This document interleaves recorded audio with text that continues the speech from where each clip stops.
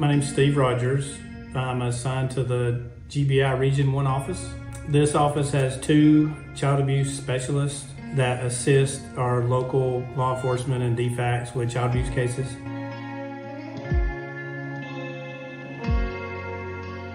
We do training every year. Sometimes it's on pattern injuries, interview techniques for child abuse, to how to interview children. We receive training from a lot of medical specialists for child abuse on how to how to recognize child abuse that sometimes is misdiagnosed at the hospital. Training similar to that would be beneficial to somebody that wanted to do this type of work. Another case of an agent here in the office. He responded to a request from a local sheriff's office. Um, the initial request was for a welfare check for two small children. The welfare check led the sheriff's office to discover these children were locked in homemade cages in the home.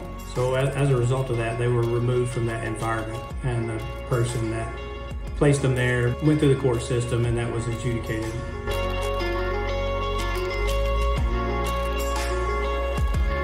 We're involved with uh, our local advocacy centers. When they do community events, sometimes we'll attend those. We have in the past um, went to school systems and discussed with uh, different classes or the school as a whole about mainly sexting and kids using the internet to interact with adults for sexual purposes.